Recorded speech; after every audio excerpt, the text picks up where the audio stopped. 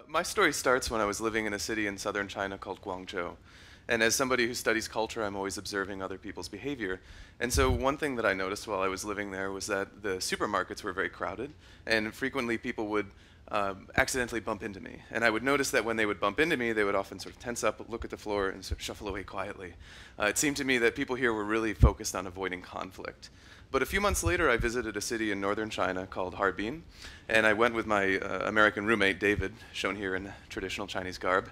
Uh, and we were visiting a museum, and uh, an employee at the museum said, Wow, your, your Chinese is very good. Um, but your Chinese, and she pointed to me, is better than your Chinese, and she pointed to David. Now, I've known David for seven years. In fact, I saw him a couple months ago in New York City, and I can tell you that we have never brought this up again, if that's any indication of how uncomfortable it made us feel to have our Chinese levels um, compared. And so it seems to me that people in northern China were a little bit less concerned about sort of preserving harmony. So over several years of living in China, uh, I found that people in the north were a bit more outgoing, a bit more independent, uh, whereas people in southern China were a little bit more of what I thought of when I before I came to China. Um, so interdependent, shy around strangers, focused on, on uh, avoiding conflict. So this got me to thinking over several years of living in China, why do these differences exist? What are some of the systematic differences between northern and southern China? Well, one of the differences is that south of the Yangtze River, for thousands of years, people have been growing rice for a living. But if you look at the at other crops like wheat, it's the exact opposite. So north of the Yangtze River, people have been growing wheat. Now, why would rice be important for culture? Uh, I think there are two things that make rice really different from any other crop that people grow around the world. First is that it requires irrigation. Irrigation is important because rice farmers have to coordinate when they fill and when they drain their fields. Uh, it means that my water use affects your water use. This makes people um, have functional interdependence. This isn't some you know sky pie in the sky. We all love each other. It's it's we have to work together in order to put food on the table. The second thing is that rice requires a lot of labor. How do we know that it requires a lot of labor? Well, first we can just compare the number of tasks that farming rice and farming wheat um, requires, and you can see that rice requires a lot more tasks than, than wheat. Uh, but anthropologists have studied this more systematically by visiting pre-modern rice villages and wheat villages and observing the number of hours that farmers have to spend in their fields. And what they routinely find is that rice farmers have to spend about twice the number of hours in their fields uh, as wheat farmers. Now, why is this important? It's important because such a large labor burden um, encourages rice farmers to form these cooperative labor exchanges. So I will help you farm your field this week, and you'll help me form, uh, farm my field next week. So in a nutshell, the rice theory of culture is the idea that rice has a higher need for collective labor, uh, and over time those cultures become more collectivistic. Wheat cultures have less of a need for collective labor, um, and that's, that leads to more of the freedom that we associate with individualism. Now, I've tested this in China by going to different testing sites all over China and giving people psychological tests and seeing whether or not they're actually different, these cultures. Um, so one of the ways in which I've tested this is to, to measure people's implicit individualism. Now, the way that we, we do this is we have people draw a sociogram um, to represent the self and their friends. And what we don't tell them is that afterwards we measure the size of the self and we measure the size of the friends to see whether or not they draw the self bigger than they draw their friends. We, we consider this a sort of implicit or, or unconscious measure of individualism. Now, previous research has shown that Americans are number one in the world in self-inflation. We draw ourselves much bigger than we draw our friends. Uh, people in Western Europe are, uh, you know, they have self-inflation, but they're a little bit less. Uh, and people in Japan actually draw the self slightly smaller than they draw their friends. Now, I thought um, Japan, as another rice culture, um, should be similar to, to southern China, and I thought that people in the wheat parts of China would be a little bit more like people in Western Europe. And indeed, that's what I found. So people in the wheat parts were showing the self-inflation. People in, from the rice parts of China were not. Another way that I've tested this is to look at people's cultural thought style. Now, you might be familiar with the idea that individualistic thought is linked to analytic, uh, or I'm sorry, individualistic cultures tend to have more analytic thought. Uh, people in collectivistic cultures tend to think more holistically or intuitively. We use different terms. Um, you might be familiar with the West tradition of this sort of abstract philosophical thought.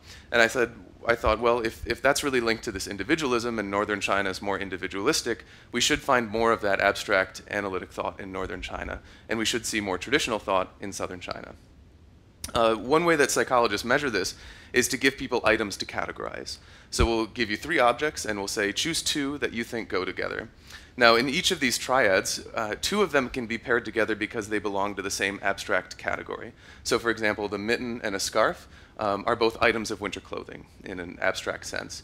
Um, but uh, and there's a the second way you can pair these up is a more sort of intuitive relational pairing. Uh, the hand wears the mitten. Now, what I'm going to show you is the percentage of rice that's grown in people's home provinces where they grew up, and the percentage of these um, intuitive categorizations. You could think of this as uh, traditional East Asian thought. Um, and what I find is that indeed people from the, the rice areas of China have more of this sort of traditional East Asian thought. Um, and here's where students at UVA score, um, another wheat culture.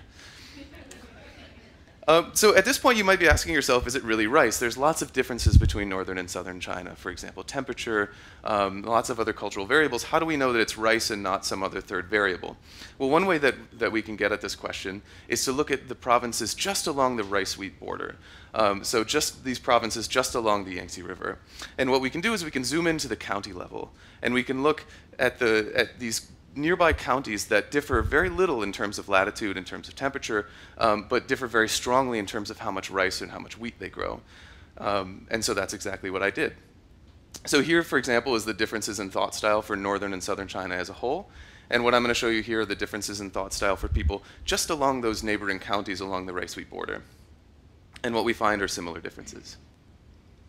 So after I did all of these laboratory studies, I thought, you know, laboratory studies are really great because we know exactly what we're measuring. We're, we're putting people in a controlled environment. We're being very careful about it.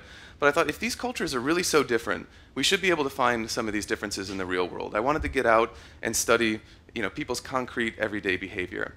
Um, so I got a Fulbright, uh, Fulbright scholarship, and I had the opportunity to go do observational studies in China. Um, so the things that I was uh, wanted to do while I was there required some sort of comparable environment. So I was trying to think, what could be an environment in China that is this, basically the same all over China, that, that can be my sort of natural experiment room? What's, what sort of environment doesn't change no matter where you go, um, anywhere through China? And I was thinking about this problem. I couldn't figure out where is a good uh, sort of natural experiment room. And one day it hit me, Starbucks. Um, thanks to the, the, the, wonders of global capitalism, um, I had my experiment room all set for me. So you know, basically the same all over China. And the first thing that I did is I wanted to start pretty simple. So I just went in and I counted the number of people who were sitting alone um, in several cities in the rice area and the wheat area.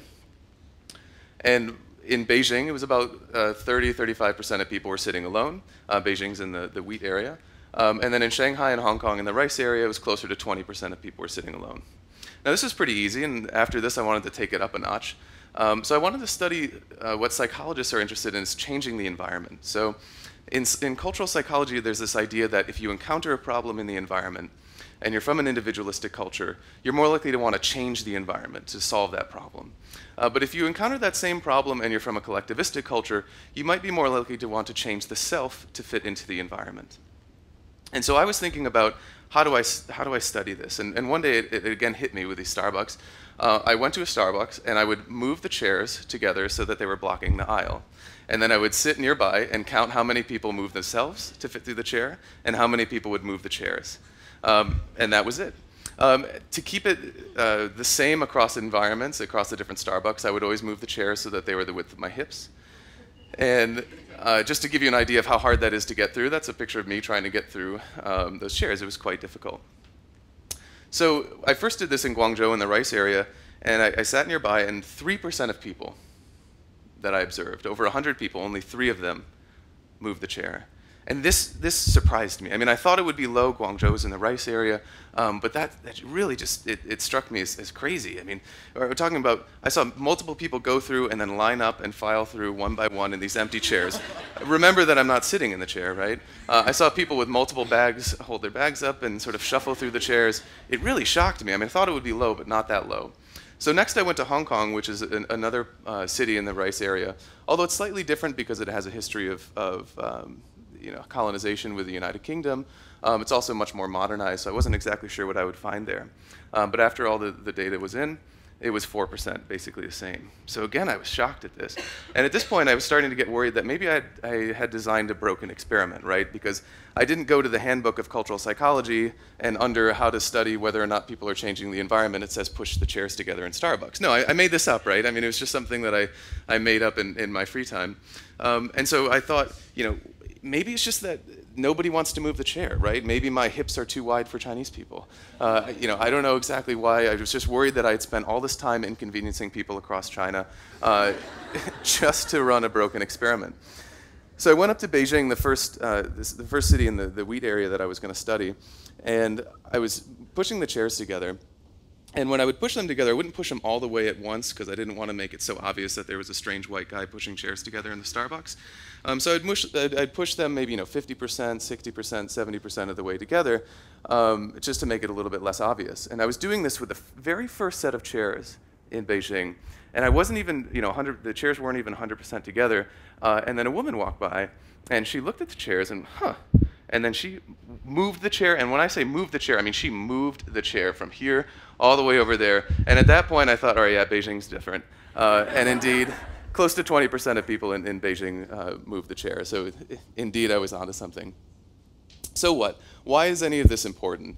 Well, first, I hope I've convinced you that, that Han China is not just a single culture. There's 1.2 billion Han Chinese people, um, and they're very different. This has implications for things like the economy, politics, trade. Uh, if I were in charge of marketing for Coca-Cola in China, I'd want to know about these differences. Second, uh, it's not just China that has the, a rice-wheat split. India is another country with over a billion people that has a rice-wheat split. Um, and I've replicated my findings in India. So this is um, the percentage of rice uh, in people's home states in India, and that's their uh, traditional thought style. Uh, and finally, I think it can help explain a, a, modern paradox. So a lot of us have the intuition that modernization leads to individualism, that as countries modernize, they become more individualistic. Uh, but there's a bit of a problem. So I'm from East Lansing, Michigan, not a terribly modernized place, not a terribly urbanized place. Uh, and I've visited these cities in East Asia that, that are much more urbanized, much more modernized um, than where I'm from, places like Hong Kong, places like Tokyo. And secondly, if you look at per capita GDP, so for example, if we compare Western Europe, which is here, the, the blue line, uh, and, and, several countries in East Asia, uh, Japan caught up to Western Europe in the 1970s. Uh, Singapore caught up in the 1990s. Some of these places now have per capita GDPs that are higher than, than in the West. And yet, when you look at their individualism, uh, and if you plot it out by, by how wealthy the, the, per capita GDPs of these countries are, and how individualistic they are, and based on uh, studies in psychology, indeed you find a relationship so that wealthier countries tend to be more individualistic. But all of East Asia is an outlier. All of East Asia is less individualistic than it should be based on how wealthy it is. So what could explain this? What are some of these, the, the commonalities between all of these countries? Well, all of these countries here that are outliers, they're all rice cultures or colonized by people from, from rice cultures. So I think the rice theory could help explain a little bit of this um, sort of East Asian paradox. So thanks for listening, and I also like to thank everybody who helped me do all of these studies in China. Thanks.